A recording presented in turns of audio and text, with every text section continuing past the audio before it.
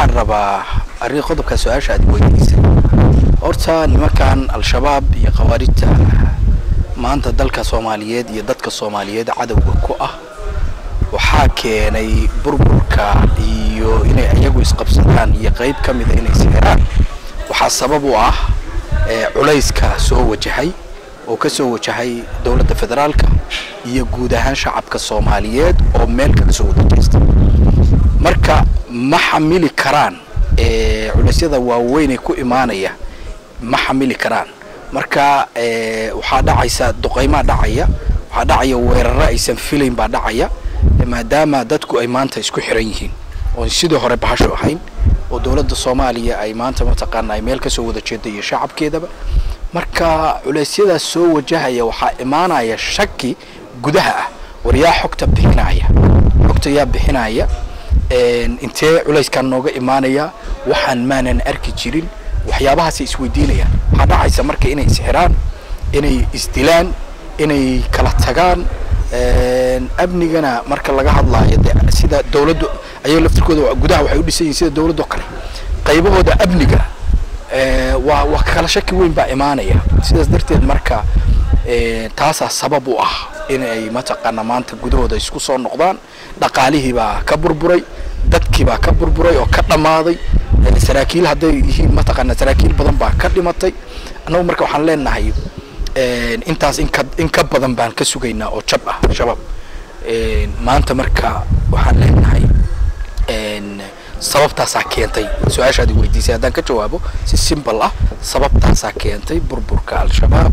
Iyo mataqaanaa inuu isxiro waana burbur weyn oo soo wajahay weeyaan. Wallaahi way u badan tahay haddaba way isu soo dhiibaan.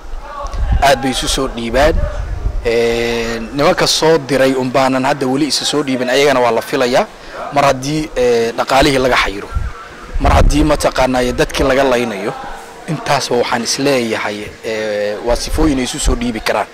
Qorshe ka weyn baana dowladda u dejisan federaalka soomaaliya iyo istaydyadaba ilaahay idinkiis shacabkana wuu ku soo jeestay al-shabaab.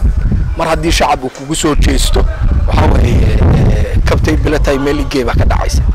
Marka waxaan leeyahay ba iyo hoog baa usugnaaday baan leeyahay. Ba iyo hoog baa usugnaaday insha allahu tacaala waana laga adkaan doonaa. Burburkaasna weli waa bilow. Insha allahu meel waxaad arki doontaan shabaab taariikhduu geli doonaa. Waa soo maray. Masiibo dalka waa soo martay iyadoo historiga iyo taariikhda ku jirtaad arki doontaan beri baa la sheeg sheegi jiray ah oon ku sheekaysano ayaa dhici doonta biidn illahi tacaala.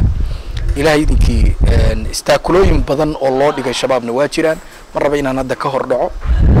Sababa abni mataqaanaa abnigu wixiisa waa dahsoon yihiin. Maaha in banaanka la soo dhigo. Intaan ogahay wax badan. Insha allahu farxad shacabka dhigooda ku soo dhici doontaa jiraysa insha allah. Waxaan ugu baaqayaa ilaahay baa wax dila. Nafta mar bay go'aysaa naf kastana inay dhimanayso waa waa hubaal iyo yaqiin. Waalidiinteen iyo waalidiintii dhalay ayaa dhintay. Ambiyadii iyo saxaabadii baa dhintay. Waa la dhimanayaa halna dadku inay ogaadaan. Waxaan dadka u baaqayaa oo ka mid a inay dadka naftooda ku kalsoonaadaan. Ilaahay subxaanahu watacaala ku kalsoonaadaan oo ay qawi noqdaan oy naftooda adkeeya maxaa la yidhahdaa sharaftooda iyo karaamadooda ay ku ku adkaadaan. Qofna qof ma dili karo ninkii ilaahay uu soo mataqaanay doono unbaa dhimanaya.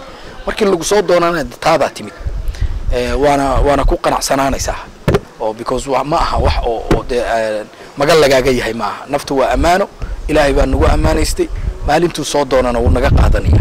Waxaan marka ummadda ugu baaqayaa rag iyo haweenba in meel looga soo jeesto. Waxaan ilmahaaga dhaafayn maalkaaga dhaafayn cirdigaaga dhaafayn sharaftaada dhaafayn karaamadaada aan dhaafayn diintii ku beeshee ka been abuuranaya waxaa weeye inaad guriga ku qarsato oo aad guriga ku qarsato munaasab kuguma aha diiniyan iyo maadiyan wax ku faraya midna ma jiraan. Islaamnimadaadana khatar ku galaysa. Sidaas darteed waxaan ummadda ugu baaqayaa meel kastay joogaan min raas casayr iyo raskamboni in loo istaaga arrintaas. Nafta allaa gooya anigu taasaan dadka ugu baaqayaa aad baa mahadsantahay waa dhowahay telefishinka iyo shaqaalihiisa maamulkan waa salaamaya magacaygu cabdulaahi shaafic cabdulaahi waxaan ka mid ahay odayaasha bulshada reedka soomaaliya gaar ahaan jubbaland arrintaas dee markii laga had dhab looga hadlo si diiniya looga hadlo si dastuuriya looga hadlo dastuurkeenna soomaaliya horta markii qur'aanka laga tago sharciga ugu sarreeya dalka sidoo kale waxaa jira xeerar iyo nidaamyo dowladdu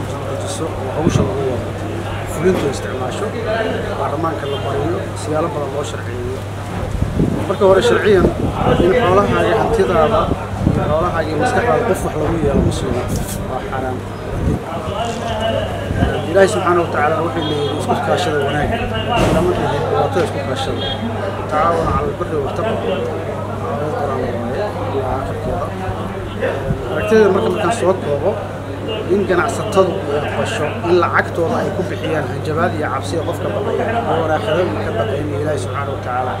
عكت أنا إن قطو تدفت المهول إلي وحانو إن الدبيل هي اللي يكون بحيان إن لم يدين طبعا شباب.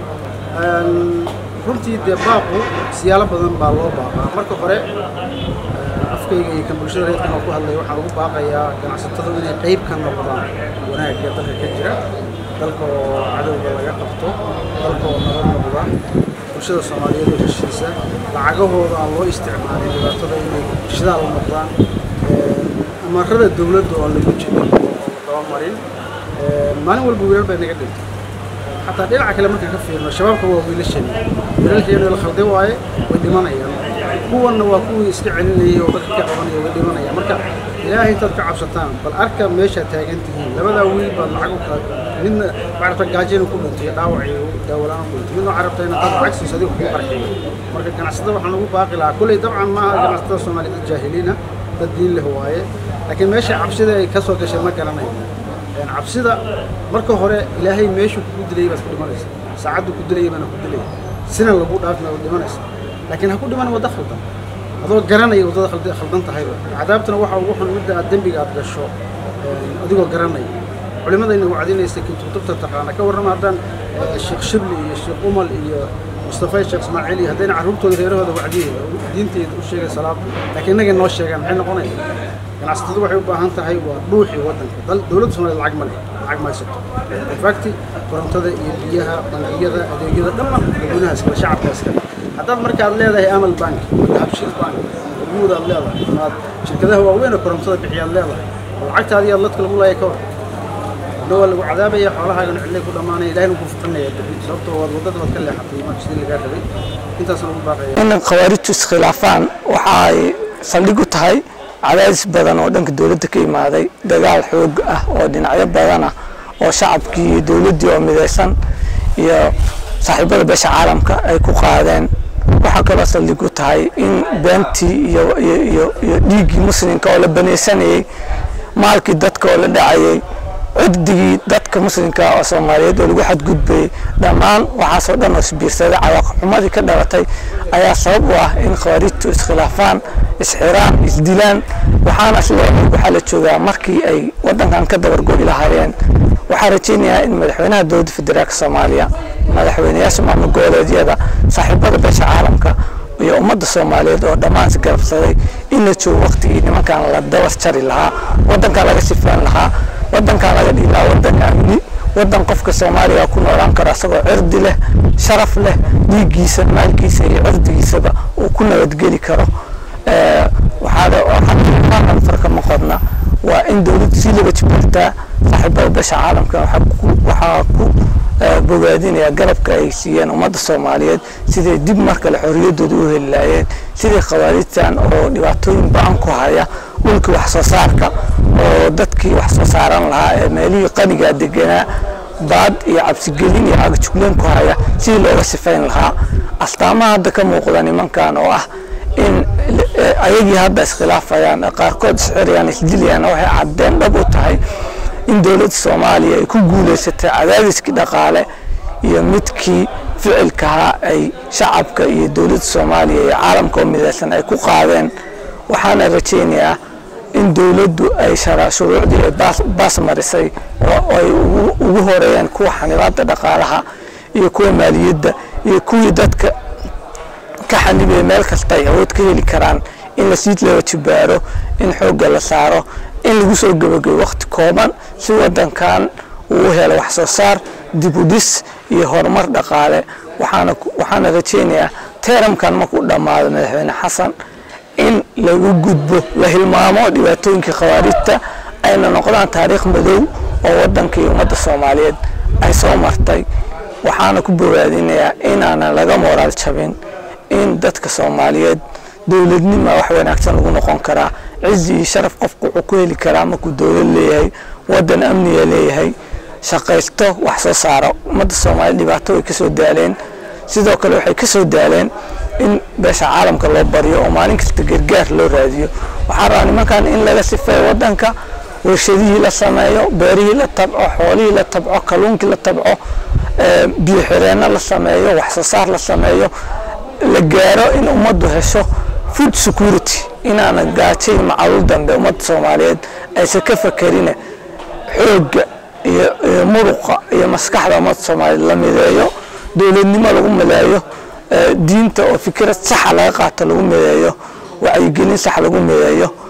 Annagoo isku duwan waxaan rajaynaynaa inaan hagardaamooyinkii dhibaatooyinkii iyo uurkutaalooyinkii xumaa ay khawaarijtu geysteen. Dhowr iyo tobankii sano ee la soo dhaafay. In laga bogsado ummadda soomaaliyeedna horumar gaarto. Madaxweynaha iyo mar hore uu sheegay qofkiisa soo dhiiba ee dadkiisii dalkiisa u soo noqda ee ka toobad keena ficilkaas khawaarijta dowladdu si fiican ula macaamili doonto. Waa wakti u furan waase hadday caqli leeyihiin oo ay soo noqon karaan dowladdu iyo dadkooda waa soo dhaweynayaan. Haddiise ay rabaan bahalnimada iyo dadcunimada iyo jaqitaanka dhiigga muslimka inay sii caadeystaan dowladda soomaaliya iyo shacabkeeda iyo dadkeedu gacan bir ah ayay ku qaban doonaan. Meel kasta iyo god kasta ay tagaanna way uga daba tegi doonaan ummadda soomaaliyeedna maha ummad la gumaysan karo cirdigooda sharafkoodan lagu ciyaari karo. Waa soo jeesteen waktigii bahalnimada iyo cabsigelintu waa dhammaatay waxaan rajaynaynaa in ummadda soomaaliyeed iyo dowladoodu gacantas qabsadaan. Meelna looga soo wada jeesto sharka khawaarijta